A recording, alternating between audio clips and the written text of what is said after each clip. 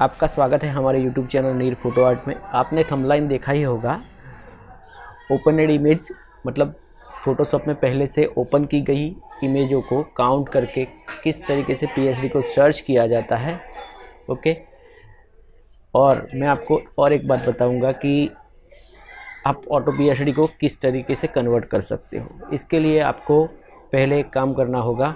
मैंने जब आपको सेटअप दिया था, आपने डाउनलोड करके इंस्टॉल किया तो डेस्कटॉप पे आप देखोगे तो डेस्कटॉप पे जो फोल्डर बना है, उसके अंदर एवरीथिंग सर्च नाम का सॉफ्टवेयर है, उसे आपको कंपलसरी इंस्टॉल करना है। ओके फ्रेंड्स तो पहले इसे इंस्टॉल कर लीजिए, तभी आप इस फ़ंक्शन का उपयोग कर पाओगे। ओके और मैं इस सॉफ्टवेयर को इंस्टॉल करने के बाद आप पी को कंप्यूटर में सर्च कर सकते हो। सर्च करने के लिए पहले आपको पी को ऑटो पी में कन्वर्ट करना पड़ेगा और पी के फ़ाइल को नाम पी फ़ाइल पी फ़ाइल के नाम को चेंज करना पड़ेगा।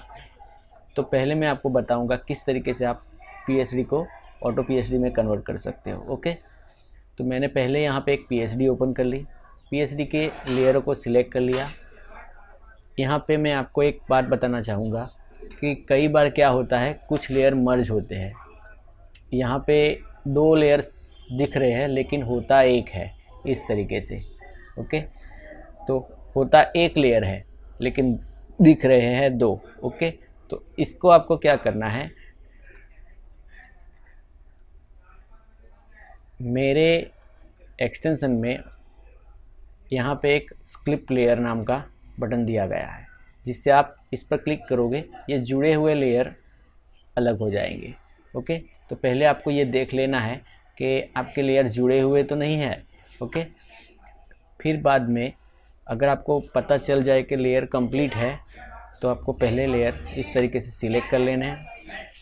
सिलेक्ट करने के बाद और वही लेयर सिलेक्ट करने हैं जिस, जिन पर आप इमेज फिल करना चाहते हो ओके तो मैंने लेयर सिलेक्ट कर लिए और यहाँ पे ध्यान दीजिए पी फ़ाइल का नाम क्या है ओके यहाँ पे कुछ नहीं होता लेयरों का रीनेमिंग होता है और उसका नाम चेंज हो जाता है। तो यहाँ पे एक बटन दिया गया है H V layer count and save P H D मतलब हॉरिजॉन्टल वर्टिकल लेयरों को काउंट किया जाता है काउंट करने के बाद पी एच डी सेव हो जाती है। ओके तो यहाँ पे मैं क्लिक करता हूँ। क्लिक करने के बाद एक प्रोसेस होगा। प्रोसेस होने के बाद यहाँ पे आपको पूछा जाएगा कि कहाँ पे सेव करना चाहते हो। अब जहाँ पे सेव करना चाहते हो, वहाँ पे सेव कर लीजिए। यहाँ पे फोल्डर बन जाएगा। मैं यहीं पे ही सेव करता हूँ, जहाँ से मैंने पीएचडी को ओपन किया था। ओके? यहाँ पे पीएचडी क्लोज हो जाएगी। क्लोज होने के बाद यहाँ पे शो हो जाएगा कि कितने वर्टिकल लेयर थे और कितने हॉरिजॉन्टल लेयर थे। हमने देखा कि हमारे पीएचडी में एक भी वर्टिकल लेयर नहीं था, सभी हॉरिजॉन्टल लेयर थे। तो मतलब फाइव हॉरिजॉन्टल लेयर है, ओके? इसके हिसाब से यहाँ पे पीएचडी का नाम चेंज हो गया, ओके? तो चलिए, अब मैं इस फीचर्स का उपयोग किस तरीके से काम लिया जाता है और ये नाम चेंज होने से हमें क्या बेनिफिट मिलता है और हम कैस, किस तरीके से पी को सर्च करते, कर सकते हैं हमारे कंप्यूटर में, वो भी अपने इमेज के हिसाब से ओके तो यहाँ पे मैं कुछ इमेज ओपन कर लेता हूँ।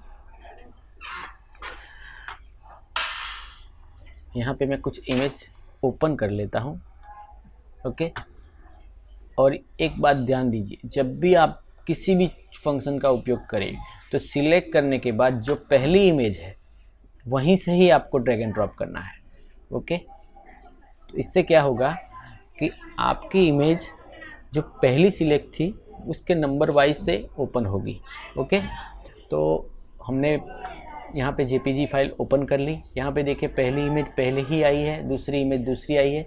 आप चेक कर सकते हो, आपने अगर गलत जगह से सिलेक्ट करके ओपन किया तो इमेज का सीक्वेंस सेम ओपन नहीं होगा। ओके? तो अब मैं यहाँ पे एक बटन दिया गया है count open image everything soft to search PHD तो मैंने क्लिक किया, यहाँ पे एक डायलॉग बॉक्स ओपन हो गया। यहाँ पे लिखा हुआ है two vertical and four horizontal तो यहाँ पे हमें कॉपी करना है। कॉपी करने के बाद जैसे ही हमें ओके okay करना है, जैसे ही हम ओके okay करेंगे एवरीथिंग सॉफ्टवेयर ओपन हो जाएगा। आपको ध्यान देना है कि आपने पहले एवरीथिंग सॉफ्टवेयर को इंस्टॉल किया है या नहीं किया है? अगर नहीं किया है तो एरर आएगा ओके तो मैं यहाँ पे यहाँ पे हमें पेस्ट करना है। जो हमने वहाँ से कॉपी किया था, मैंने पेस्ट कर दिया। तो यहाँ पे मेरी पी ओपन दिखा रहा है कि ये पी एच डी यहाँ पर आ गई है। तो मैं यहाँ पे ड्रैग एंड ड्रॉप करता हूँ। ड्रैग एंड ड्रॉप करने के बाद लेयर सिलेक्ट ही होंगे और यहाँ पे एक बटन दिया गया है open image horizontal vertical fill तो मैंने क्लिक किया।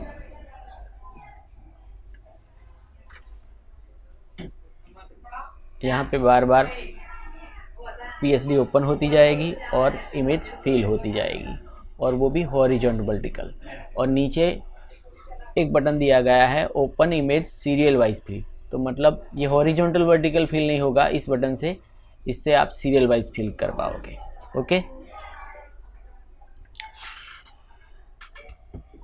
अब मैं क्या करता हूँ, इस पी को मैं क्लोज कर लेता हूँ। अब क्या करेंगे, कुछ और इमेज है, मैं इसे ओपन कर लेता हूँ। ओपन करने के बाद मैं आपको दोबारा भी दिखाऊँगा कि किस तरीके से आप पी को सर्च कर पाते हैं।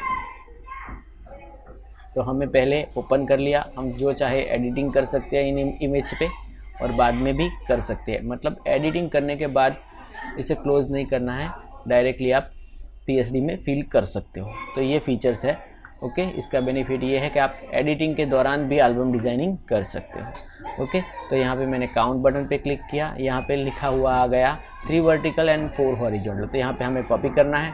कॉपी करने के बाद जैसे ही हम ओके करेंगे एवरीथिंग सॉफ्टवेयर ओपन हो जाएगा, यहाँ पे हमें पेस्ट करना है तो इसके अकॉर्डिंग पी आ जाएगी। तो हमें इसे ओपन करना है। ओपन करने के बाद लेयर सिलेक्ट ही होंगे, ओके? आपको सिलेक्ट करने की भी ज़रूरत नहीं है, लेयर सिलेक्ट ही होंगे उसके हिसाब से, ओके? तो मैं दोबारा यहाँ पे क्लिक करता हूँ, open image, horizontal vertical fill.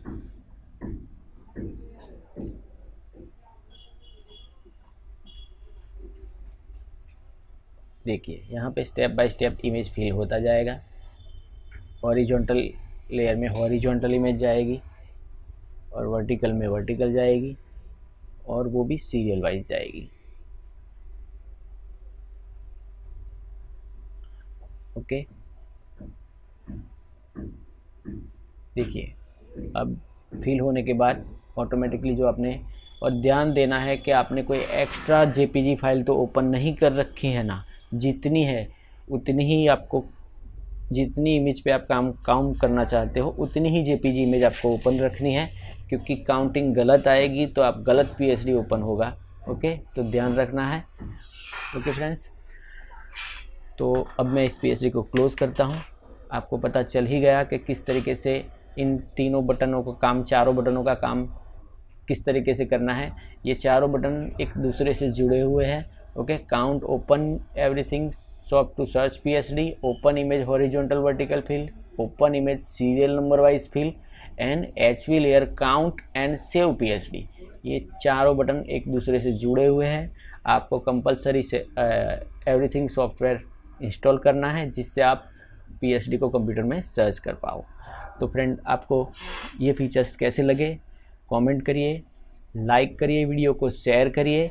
और सब्सक्राइब करिए और वीडियो को ज़्यादा से ज़्यादा शेयर करिए, क्योंकि हर ये फ्री सॉफ्टवेयर है फ्री स्क्रिप्ट है।